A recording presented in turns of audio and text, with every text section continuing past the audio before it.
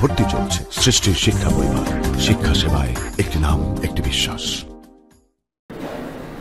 সুপ্রিয় শিক্ষার্থী, আসসালামু আলাইকুম।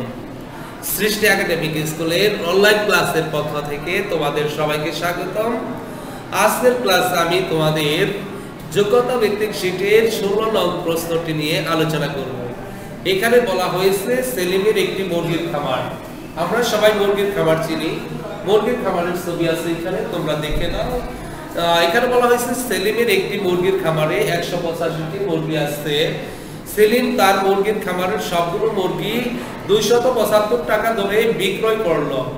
এখন এই তথ্য অনুযায়ী এখানে ক, খ, গ, নং তিনটি প্রশ্ন দেওয়া আছে। এই প্রশ্নগুলো আমাদের সমাধান করতে হবে। এখানে ক নঙে বলা হয়েছে এরূপ পাঁচটি খামারের কতটি মুরগি আছে। তাহলে এখানে ক বলা হয়েছে এরূপ পাঁচটি খামারে কতটি মুরগি থাকবে? তাহলে আমাদের এখানে প্রথমে বুঝতে হবে, একটি খামারে কতটি মুরগি আছে? একটি খামারে যে মুরগি আছে, পাঁচটি খামারে তার চেয়ে বেশি থাকবে। আর বেশি হলে অবশ্যই আমাদের গুণ করতে হবে। তাহলে আমরা এখন ক নং সমাধান করে নিব। আমরা এখানে লিখব ক এর উত্তর। ক এর উত্তর আমরা এখানে প্রথমে লিখব, একটি খামারে মুরগি আছে একশত পঁচাশিটি। তাহলে আমরা লিখে নিচ্ছি এখানে একটি খামারে মুরগি আছে একশত পঁচাশিটি। এখন এখানে প্রশ্ন চেয়েছে এইরূপ পাঁচটি খামারে কতটি মুরগি থাকবে? পাঁচটি খামারে অবশ্যই মুরগিটা বেশি হবে আর বেশি হলে আমাদের অবশ্যই গুণ করতে হবে। তাহলে আমরা লিখব, সুতরাং পাঁচটি খামারে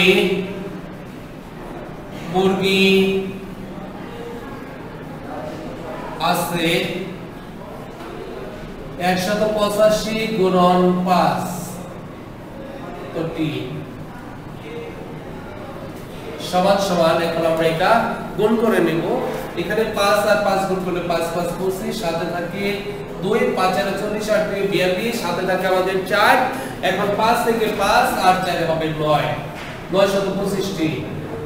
আমরা তাহলে পাঁচটি খামারের মুরগি কতটি থাকবে তা পেয়ে গিয়েছি। এখন আমরা উত্তর লিখে নিব। উত্তর নয় শত পঁচিশটি। এখন আমরা খনন প্রশ্ন নিয়ে আলোচনা করব। খনকে বলা হয়েছে পঁচিশটি মুরগির বিক্রয় মূল্য কত? আমরা এখানে প্রথমে দেখব একটি মুরগির বিক্রয় মূল্য কত। এখানে লেখা রয়েছে সবগুলো মুরগি দুইশত পঁচাত্তর টাকা ধরে বিক্রি করলেন। অর্থাৎ একটি মুরগির বিক্রয় মূল্য হলো দুইশো পঁচাত্তর টাকা। তাহলে আমরা এই লাইনটি প্রথমে লিখে দিব। এখানে লিখব ভয়ের উত্তর।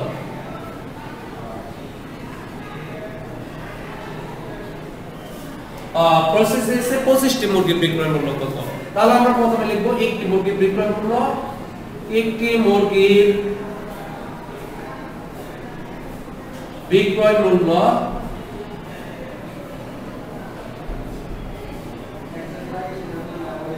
দুইশত পঁচাত্তর টাকা। সুতরাং পঁচিশটি মুরগির বিক্রয় মূল্য চেয়েছে পঁচিশটি মুরগির বিক্রয় মূল্য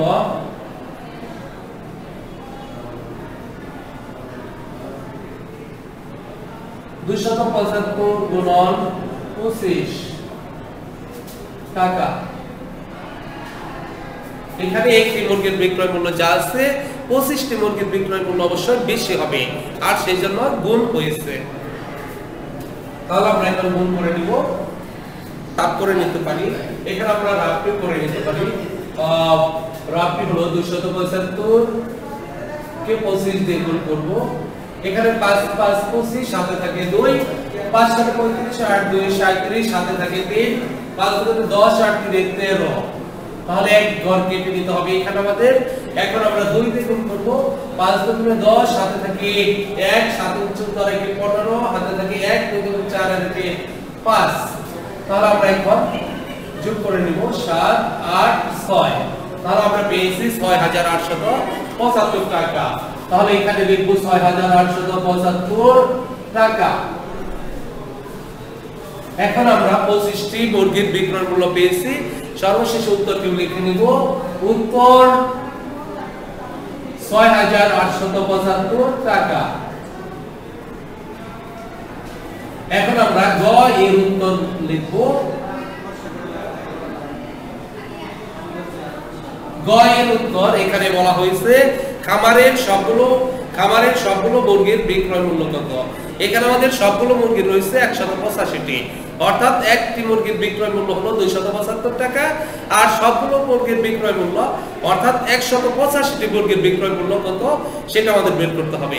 তাহলে আমরা লিখে নিব, একটি মুরগির একটি মুরগির বিক্রয় মূল্য,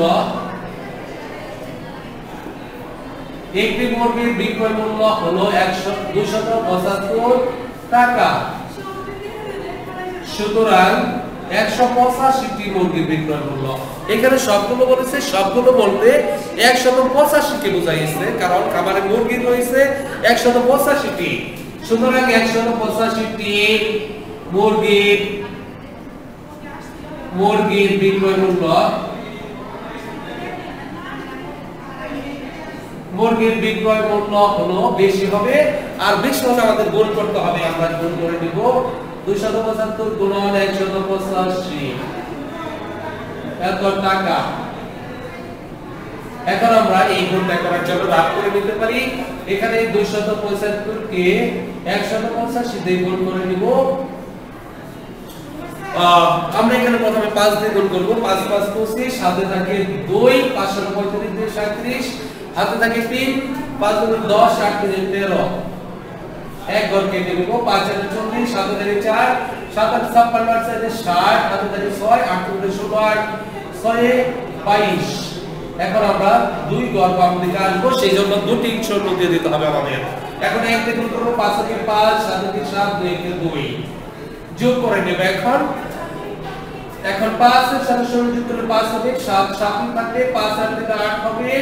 এর পরবর্তীতে সাত, আট, নয়, আর একে দশ এর শূন্য হাতে থাকে এক।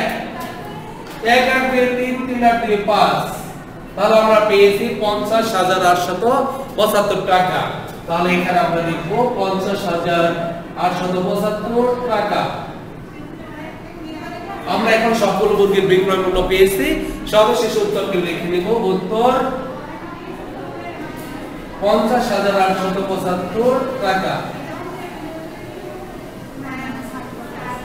সুপ্রিয় শিক্ষার্থী, আশা করি এই অঙ্কটি খুব ভালোভাবে বুঝতে পারছ। এর পরবর্তী ক্লাসের আমন্ত্রণ জানিয়ে তোমাদের কাছ থেকে এখানেই বিদায় দিচ্ছি সবাইকে ধন্যবাদ। আসসালামু আলাইকুম।